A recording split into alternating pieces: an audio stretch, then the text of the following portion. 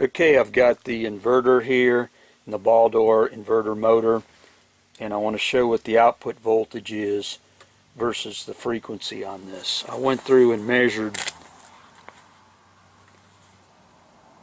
varied the hertz on the inverter and measured the RMS uh, voltage line to line here went from T1 to T2 and measured over here uh, with the true RMS meter, the 8060A. Went through and measured uh, the voltage here. So it looks like once it gets up to 60 hertz, the voltage, that's it. And so the voltage over here goes from at 2 hertz, it's 84 volts, 5 hertz is 96, 20 hertz is 164, 30 hertz 196, 60 hertz about 270 volts, and that's roughly about 1800 RPM. And if I keep on increasing the frequency, it just drops just a hair, probably because uh, probably because you got a little bit more load, just drops a volt or two. But basically, it's constant 270 to 264 here. So plotting this on here, it looks like this. Here it is at 5 hertz, 10, kind of goes up like this and then it peaks out at 270 and it goes horizontal. So I'm going to go ahead and run this thing up here. Here's the model numbers here. This is a motor is an IDN M3534. It's a third horsepower. The inverter is 110 volt input. It's a 510 101 H1J Westinghouse uh, Teco over here. So we're going to go ahead and start this up.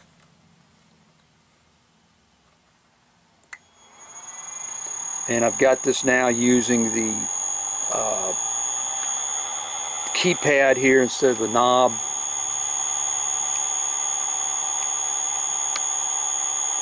We'll get that so you see a little bit of the shaft in the background there. If I want to change the speed, I'll hit this and go click over here.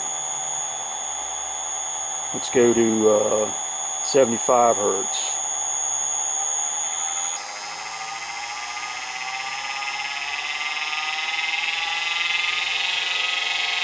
Let's say I wanted to go to this changes the digit 175 hertz it's going to screen now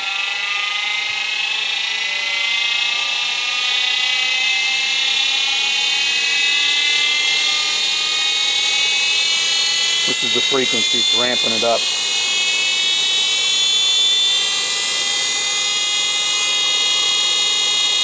Now let's go ahead and go to making it 180. Oh, it actually did a jump there. So 180 hertz is 5400 RPM. This motor over here it's got a max. There's the specs on the motor. Spec, max spec is uh, 6,000. So 6,000 would be uh, 200 hertz.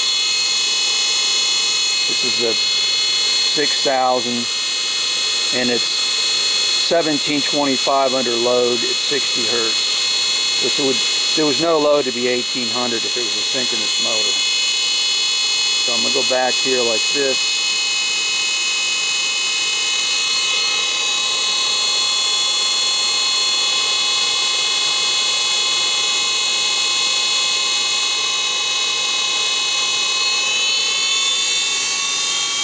So we got that thing running at 6,000 RPM.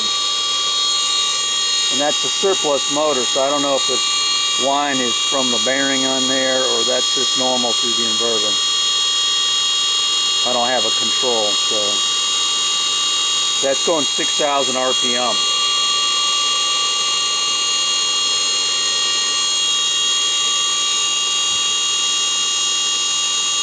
And if I want to go back here and just do a check here,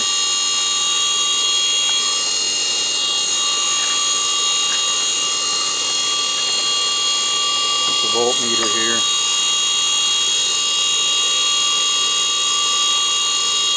Make sure I don't do something stupid. There's 266 volts.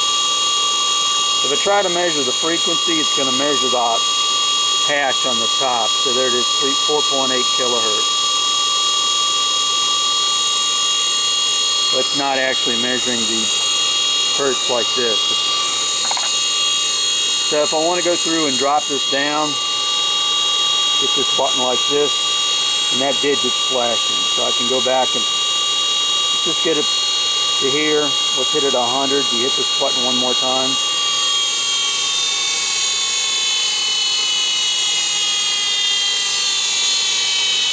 Here it's slowing down.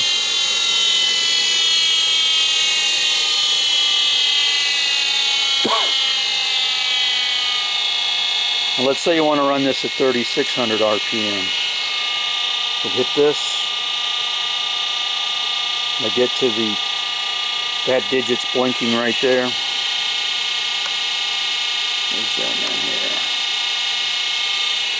So I'm going to hit this.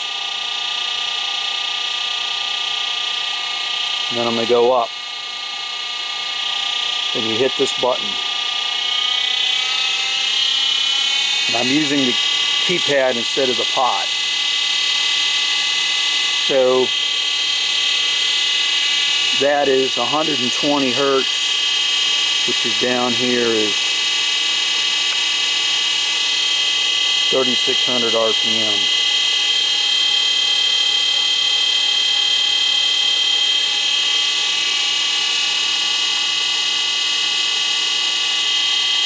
And the nameplate on this over here is 8 1725 but the max RPM is 6000 so if I want to go down here to the nameplate I'll go back to 60 hertz like it's not used to an inverter just line frequency. Go back here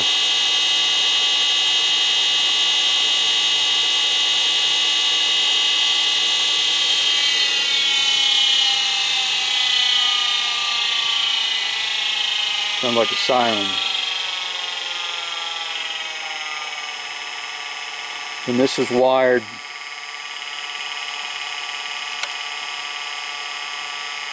for low voltage. Low meaning this is 230 volts, this is for 460. And this is how the wires are wired up. See on here it says 230 volts or 460. And then down over here There's a set of inner windings for the star, and then there's another ones. And so the connections is such that there's a con wire connected from these two dots, these two dots, these two dots pulled out. So just for testing this motor here, I've just got the ones that are powered up right into here. I don't even have separate legs. And something I on this thing here, I just noticed this, this is the data connector here. There's the RJ45. Of course, this is the data in, or you can have this for a pot, the ground and the 10 volts and the wiper.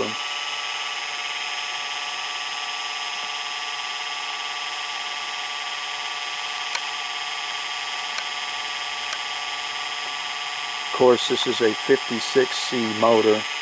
C means that the face over here is machined.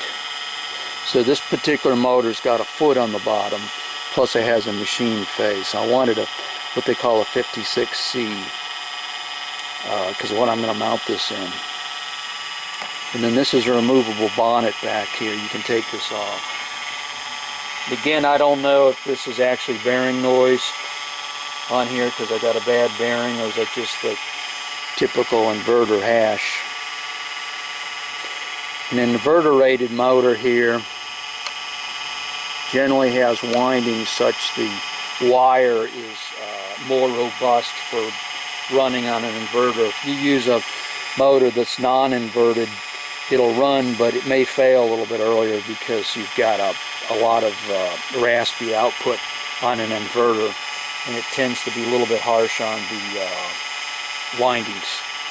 So inverter motors generally has more robust uh, magnetic wire on there.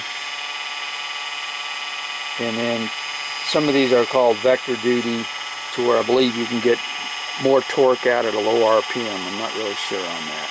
But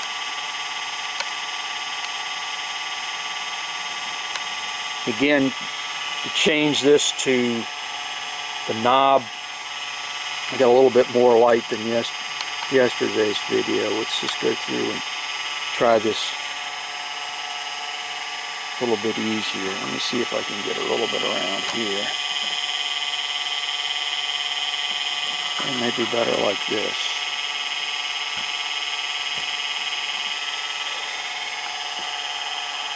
I'll turn this off.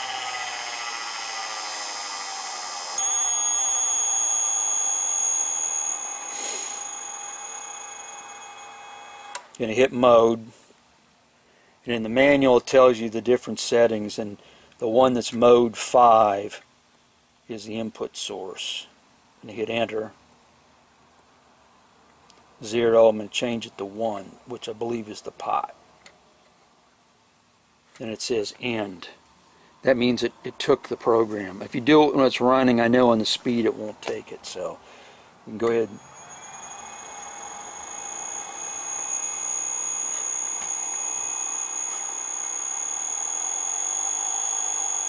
So now it's controlled by the pot. And also in that mode it has settings you can use it back here through the I believe this pot, external pot, or programmed or whatever. There's a whole bunch of this thing is just crazy how much you can program it. So there's the shaft. And the, again, the max speed this is going to go at is what I've programmed like on here. So if I do it turn this all the way over, it's going to go up to the 200, uh, 200 hertz. When you first buy the inverter, the default is, is a max of 60 hertz.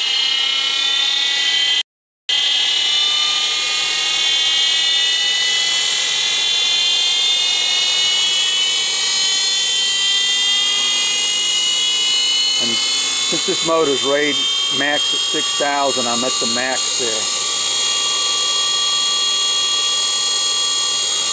I wouldn't try that on a motor. It's not, I would, don't go above the max RPM on a motor because you could have a mechanical, uh, could shatter, something could break in there real bad. Not good.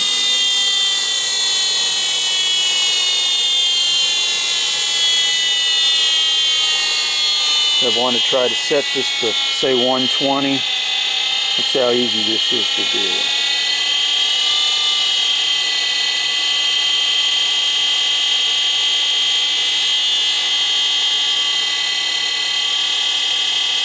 You're doing machine shop work, that's probably good enough.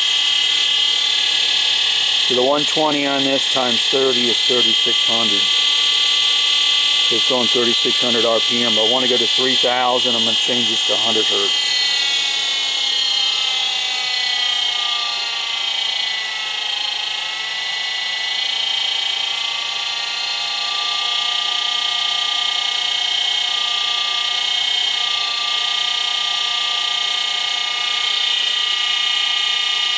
And if you're a musician, you could probably tell by the tone. We go to 90 hertz, it'd be 270 to 2700. And then 1800 would be 60 hertz.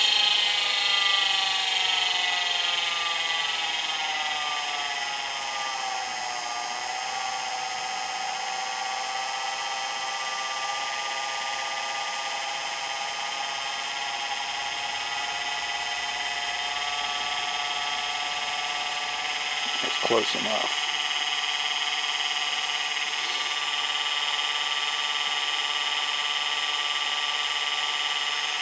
Thirty hertz would be 900 RPM.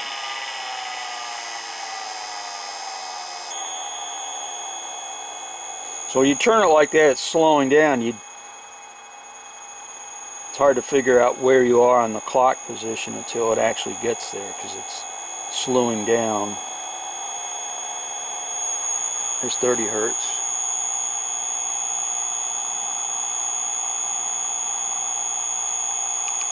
Here's the motor I'm using.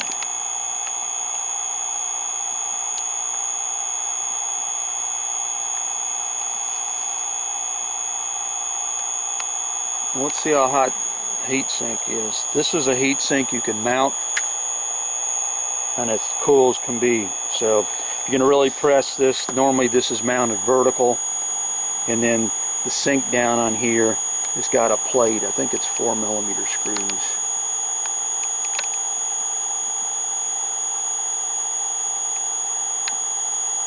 That's the unit there. And it's upside down, but it says one phase, 100 to 120 volts, plus 10% minus 15, 50 to 60 hertz, 19 amps. Output three phase, 0 to 240 volts, up to 5, 599 hertz. It's a little bit under 600 hertz.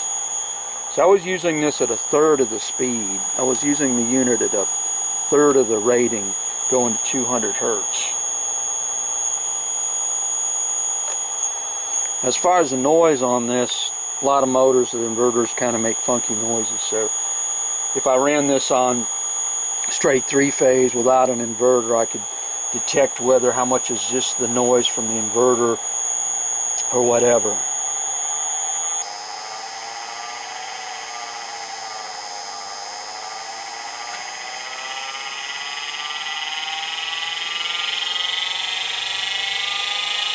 So for machining or something, you can hook a remote onto this just use a separate dial.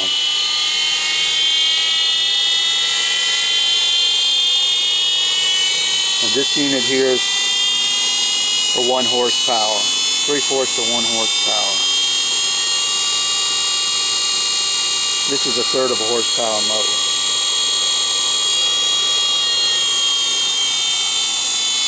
When you turn one of these off, you need to wait to all the voltages are dropped so you don't get knocked on your butt because this has got a DC, all these inverters have a DC uh, bus on them that they're pulling the legs back and forth.